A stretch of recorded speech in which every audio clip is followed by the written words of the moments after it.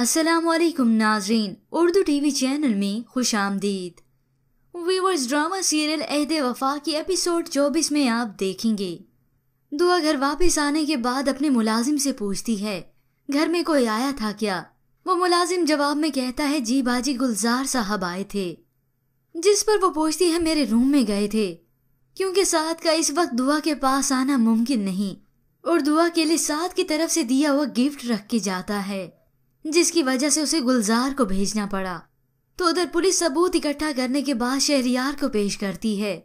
وہی بلٹ جس کا استعمال شاہ زین کے قاتلانہ حملے میں کیا گیا تھا۔ مگر شاہ زین رانی کے بھائی وکاس کے خلاف یہ ایف آئی آر واپس لے رہا ہے۔ تو شہریار اپنے پولیس والے کو آرڈر دیتا ہے۔ ایک دفعہ دوبارہ ٹرائی کرنا۔ اگر نہیں تو ریمانڈز کے پیپرز تیار کرو۔ کیونکہ شہریار شاہ زین کے دشمنوں کو ایسے ہی نہیں چھوڑنے والا۔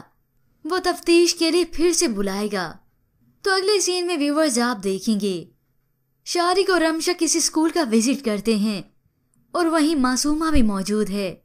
شہریار خوشی سے ان سب بچوں سے کہتا ہے، ایک دوست نے مجھے آپ سب سے ملوا کر میرے اسکول کی یاد دلوا دی۔ معصومہ بھی شارق کا شکریہ ادا کرتی ہے۔ تو وہاں آخر کار شاہ زین اطراف کرتا ہے اپنے دادا کے آگے۔ میں نے آپ سب کو دھوکہ دیا ہے، دوستوں تک کو۔ میں یہ الیکشن دھوکے سے جیتا ہوں۔ ملک اللہ یار یہ سنتے ہی حیران رہ گئے۔ ان کے سامنے اب یہ حقیقت آئی۔ اور وہاں ساتھ جو کہ ملک کی حفاظت کے لیے نکلا ہے۔ دعا گھر میں بےتابی سے اس کا انتظار کر رہی ہے۔ تو کچھ ہی دنوں بعد ساتھ کا اس کے پاس ایک خط آیا، جس میں لکھا تھا، میرے لیے تم سے اپنے گھر سے دور رہنا آسان نہیں ہے۔ لیکن میں اور مجھ جیسے ہزاروں ساتھ سرحدوں پر اسی لیے جاگتے ہیں۔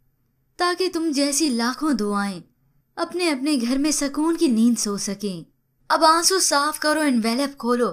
اپنا گفٹ دیکھو اور مسکراؤ۔ شاباش۔ ایک فوجی کا یہ خط پڑھتے ہی دعا جذباتی ہو گئی۔